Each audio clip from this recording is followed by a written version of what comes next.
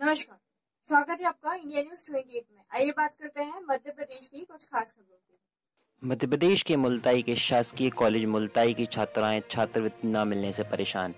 आदिवासी बालिकाओं ने state bank में दिया धरना। मुल्ताई में विगत 10 माह से शासकीय महाविद्यालय कॉलेज की छात्राएँ छात्रवृत्ति न मिलने से और स्टेट बैंक की कार्यप्रणाली से नाराज़ होकर धरने पर बैठ गईं। धरने पर बैठी छात्रा रीना इवने ने बताया कि मैं बीए सेकेंड ईयर की छात्रा हूँ। मेरे माता पिता मेहनत मजदूरी करके मुझे पढ़ा रहे हैं। मैं आदिवासी वर्ग से हूँ। छात्रवृत्ति के भरोसे ही मेरी पढ़ाई लिखाई चल रही है।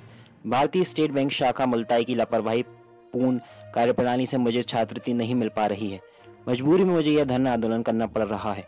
इस बात का पता चलते ही भाजपा मंडल अध्यक्ष हनी भार्गव ने बैंक मैनेजर से मिलकर उनकी समस्या तत्काल निवारण करने की बात कही। इस संबंध में जब हमारी टीम ने बैंक मैनेजर मेशराम से चर्चा की तो उन्होंने बताया कि चार दिनों में इस लड़की की समस्या का निराकरण कर दिया जाएगा। निराकरण न होने की स्थिति में पीड़ित छात्राओं द्वारा पुनः बैंक की लचर कार्यप्रणाली को लेकर धरना आंदोलन किया जाएगा। बैतूल जिला ब्यूरो, राजेश खड़से की रिपोर्ट।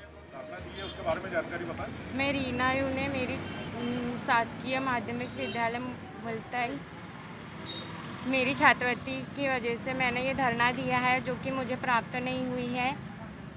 और मेरी मेरी मेरे स्कॉलरशिप की वजह से मेरी एनपीसीएल ना होने के कारण मेरी छात्रवृत्ति रुकी है और मुझे मैनेजर सर करके नहीं दे रहे और मुझे बोलते हैं कि मैं क्या करूँ, इसके कारण नहीं हो रहा है तो।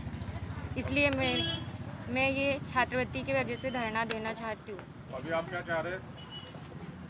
मैं ये चाह रही हूँ कि मेरी छात्रवृत्ति मुझे प्राप्त हो।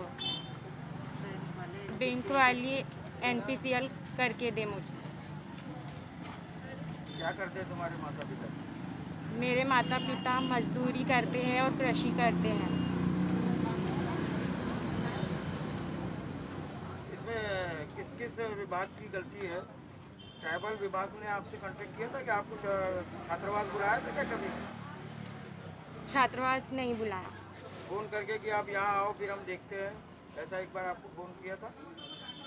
हाँ एक बार बोला था फ़ोन करके बट यहाँ से जब सब कुछ नहीं हुआ है तो फिर वहाँ से मुझे कुछ हो ही नहीं सकता था। के लिए मैं सांसद महोदय से बात करूँगा और यहाँ के बारे में सांसद महोदय को अवगत कराऊँगा कि यहाँ की जो स्थिति है। अभी मैनेजर साहब ने मैं उनसे मिल के आया।